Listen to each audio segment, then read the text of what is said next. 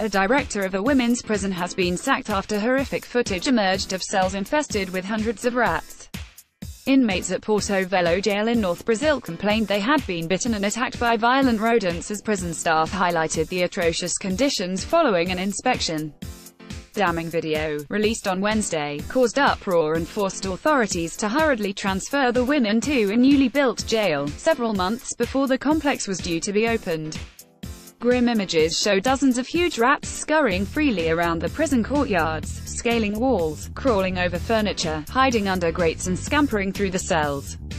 Rat-infested cells at Porto Velho jail in North Brazil. Image, Janet Tapan Coelho. Prisoners spoke about their ordeal from behind bars and revealed how they have been living in squalid and inhumane conditions for years. We know we have been deprived of our liberty because we have made mistakes and we are paying for our crimes, admitted one inmate who refused to be identified.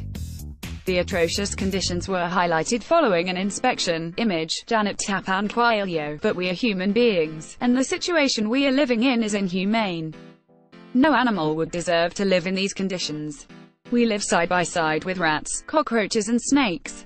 Another prisoner, who did not wish to be named, told of how she woke up terrified every night with the rodents scrambling over her. The director was sacked after the conditions came to light. Image, Janet Tapan Coelho. I've been bitten by rats many times, she announced to the union representative filming the substandard surroundings. They enter the cells and attack us and eat our food. We live with rat droppings and rat urine. The smell is unbearable. We have tried cleaning the areas but the products we have are not strong enough to get rid of the vermin. Our situation is precarious because rats carry serious diseases. But we cannot kill them because there are too many and they keep coming back. We have complained so many times, but no one does anything about it, the detainee lamented. Inmates complained they dealt with rat droppings and urine. Image, Janet Tapan. According to Singeperon, prison guards found working in the penitentiary, distressing, and some members refused to patrol the unit for fear of their own health and safety. Ronaldo Rocha, director of the union, said, the rat infestation is not a recent phenomenon. The prison has been overrun with vermin for years.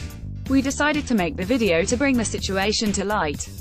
The director admitted the union filmed the shameful condition as a last resort, to force the state government to act and address the violation of human rights in the prison. He revealed, We warned Rondonia's State Department of Justice, SEJUS, many times about the invasion of rats in the courtyards and cells, but no measures were taken to solve the problem. Our prison officers were no longer prepared to work under these circumstances. The situation was getting worse and was not only worrying for our members but dire for the inmates who had no choice but to live in these conditions day in day out.